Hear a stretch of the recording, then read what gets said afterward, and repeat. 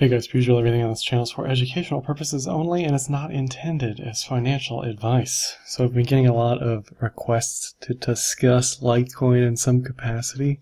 Let's take a look at some stats, some fundamentals, if you will. This is bitinfocharts.com, great website. Whoever made this amazing stuff. All these coins, you can look at all these stats. Transactions is a big one in general for just legacy people uh, and me, really. I mean, I want to know how many transactions are on a network. That really speaks to the value of the network. You can see Litecoin clearly hitting all-time highs. 44,000 is nothing. If we add Bitcoin, you can see where Bitcoin is at almost 360,000. And uh, you want to see something really ridiculous, look at Ethereum. Thanks to the ICOs, no doubt, well above even what Bitcoin at this point in the game. So if you're if you're leaning on transactions per day as key metric. Litecoin's doing much better than it has been doing, uh, but Ethereum, you know, people say Litecoin's undervalued. It's highly likely me saying this is a Bitcoin maximalist, but that Ethereum is undervalued based on the transactions per day. Uh, looking at block size, so one of the key things I'm going to talk about is Litecoin getting SegWit. You can see on general block size sitting down here around 10k, their block times are about two minutes.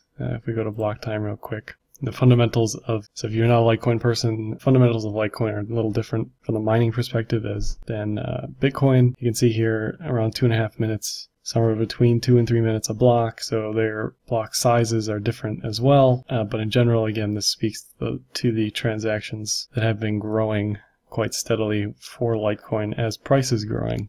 So no surprise there. And then lastly, if we look at uh, market cap, see just insane runs here on uh, the market cap. And if we compare that to Ethereum and Bitcoin, you know, this does look quite low for where it should be. And we'll look at some technicals pointing to why this is probably moving higher in the ratio realm as well as the uh, USD pair. And then one more last thing I like to look at um, hash rate and difficulty. You can clearly see hash rate has just exploded as uh, price has exploded. So no shocker there. And difficulty also at uh, all-time high being a function of hash rate no shocker. So if we go to the daily, talk about a few events, splash that against the price, you can see March 10th, SegWit activated. Anytime you see a protocol improvement, huge impetus to move higher, especially on something that's just been dead for uh, years at this point. Uh, so they get that, great. Uh, May 3rd, they get added, added to Coinbase, which to me was an even bigger impetus to move higher in price. That means new buyers can on ramp without first buying coin uh, Bitcoin and then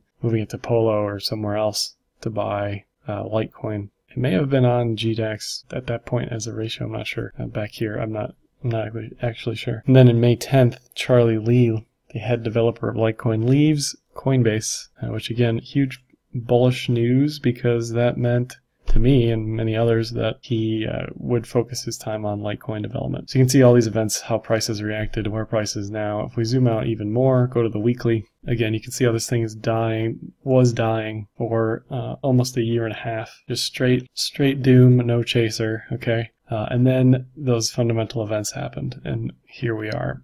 The other thing I see immediately, obviously, is this volume, uh, which is massive and uh, relatively massive for where it was and descending. Okay. Anytime you see descending volume, you immediately look at price structure. What is price structure trying to tell you? For me, it looks very much like a consolidation to move higher, some sort of flag or pennant, or whatever you want to call it. Uh, this is what it would look like uh, somewhere around 0.046. You know, it, will probably go higher if it breaks out. At that point, it'll be above uh, all-time high, I believe. I'd have to look at older data, but I think that would be above all-time high for the ratio. So it'll probably push higher than that. Probably going to end soon, sooner rather than later. Uh, end being this consolidation, simply because volume uh, can only descend down for so long. Certainly, it can just channel at zero for weeks, uh, but considering how active this has been since the beginning of the year, I expect it to move higher on uh, a volume breakout based on this structure, based on this volume profile. And I always like to look back at charts, not to pat myself on the back, but to convince people, get buy-in as to why the cloud is important, should be paid attention to. This is from April 21st. I was pointing out an edge-to-edge trade here. If we look at where we are now, that's exactly where we are, exactly where we uh, went from the edge-to-edge trade. You don't often see altcoins on a doubled weekly chart. There's usually not enough data. When there is, use it. It is your Bible, okay? Just like Doge, when you see enough data, You know, Litecoin's been around forever at this point, relatively. And again, with edge to edge trades, you get in here, you get out here. You know, yeah, you miss some of, you miss, you know, you miss all of this, you miss some of this, but at the very least, your exits and entries are high probability. So if we're looking at the daily and the setting of the weekly being insanely bullish based on volume profile and structure, looking at the daily now, the cloud, again, I just like doubled I'm an old school guy. I like the doubled. For when there's enough data and when it's an older coin, I like doubled. So right now we have price above cloud, not a bullish TK cross, not a bullish cloud. Lagging spans above price above cloud. Um, one, so two things you're waiting for here are uh, price, uh, excuse me, cloud Kumo to flip bullish and TK to flip bullish. When that happens, that's a super strong entry signal. The only thing you got to be careful of is this range uh, anytime you see it ranging, cloud signals are inherently weaker, but certainly just as valid, especially on the double cloud settings on the daily, which is a ton of data at that point. The other thing to watch for, which is a few weeks away at this point at least, is a Kumo twist on the doubled weekly cloud with all the signals being bullish. That's a buy and hold signal as far as I'm concerned, and you just watch it from there. These play out similar to the Bitcoin weekly now that was a buy and hold after the Kumo breakout. Counterparty, this cloud looks very similar. That's why I'm bullish. Long, long term, weeks, months on counterparty. If we look at uh, LTC USD, again, how do we get here? I was calling head and shoulders. Volume profile was sort of there. Price structure was sort of there. Looked good. It was bearish on the cloud. It was bearish on the 5200. Target was 20. It just didn't happen.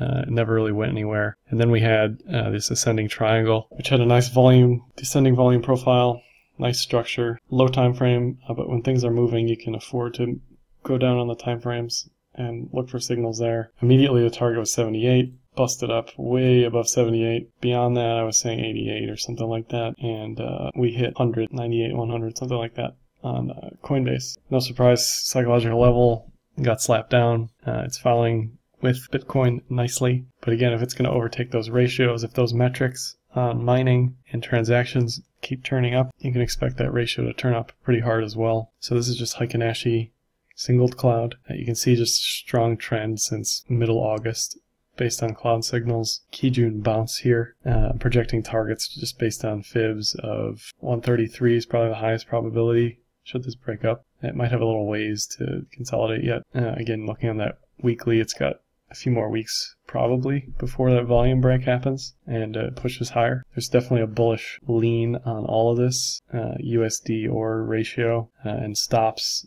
63 I think is the bottom of this wick. So um, again, when you're in Heikin Ashi, any long wicks or momentumless candles is where you move your stops.